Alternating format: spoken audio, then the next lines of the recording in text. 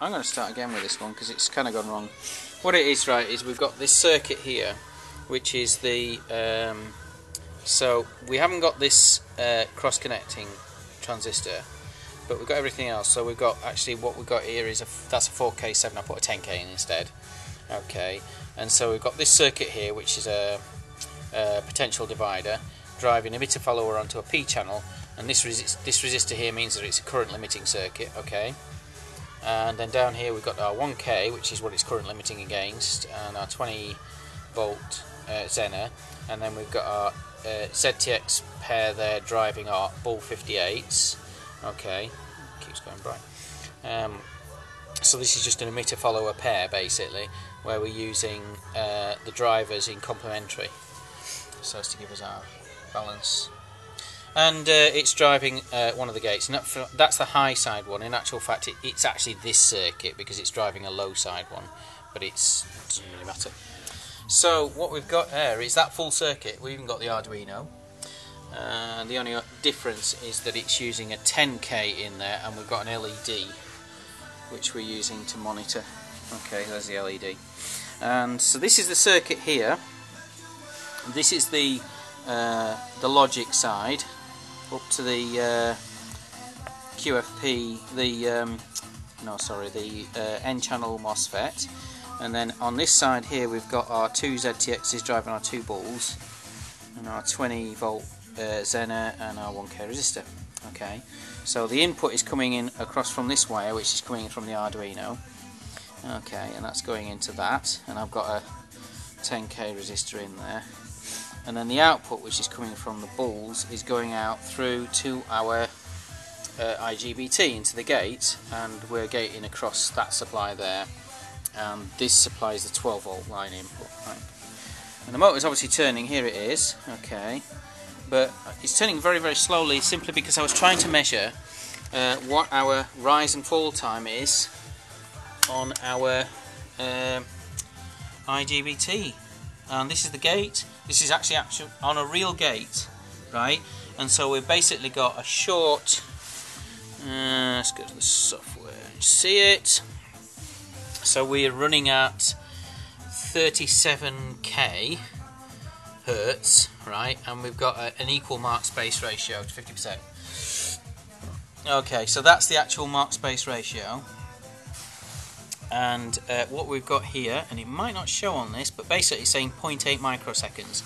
So the rise time and you can see my scope is actually struggling to maintain the sample rate but basically the rise time is 0.8 microseconds. And you can see it looks symmetrical I've measured the other side as well and it is 0.8 so we have 800 nanoseconds rise and fall time okay? Now my target was 1 microsecond. So we are inside our 1 microsecond by 200 nanoseconds. And I am chuffed because that's good. That is well good. We've got our rise time and our fall time. Those balls are getting warm actually, I'm quite surprised. They must be passing quite a bit of current. Maybe there's a little bit of a, a mini shoot through on there, so I might put a resistor in between them on the bases. Okay, what ZTX is doing? Yeah, they're cold.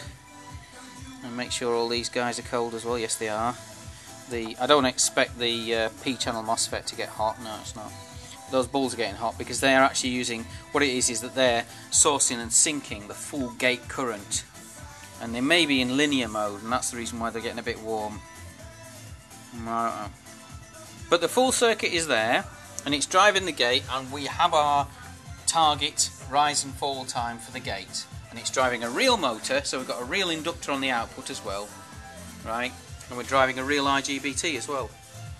Yeah, and I am officially chuffed because that was what I was trying to do. Make sure we can get that gate to turn on and off in within one microsecond. And we've got it now. Now you can see the temperature is 21 degrees.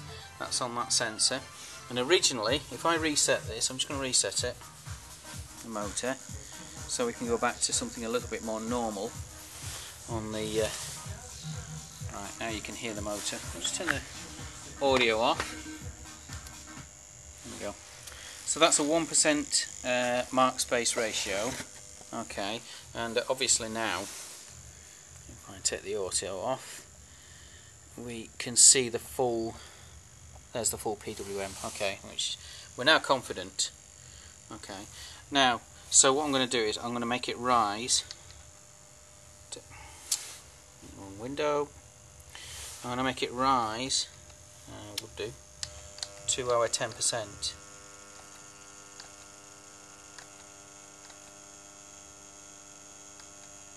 There you go, 10% mark space ratio. Okay, which is actually a frequency of 100 Hertz instead of nearly 40k, uh, which is quite impressive actually. Uh, yep, so that's a 10% mark space ratio. Obviously, our spindle is turning, and oh yeah, we're nice. And what we're going to do now is just see how the temperature rises because now we've got a really good clean mark space ratio of less than a microsecond I can't see that rising very very much. So we're going to come back. Oh, on 23 I'll leave it for about five minutes. That should be enough to get some indication as to the, the, heat, the temperature rise. But it's uh, okay. So I'm going to stop it there and I'll take a photograph of it after a while and we'll see what it rose to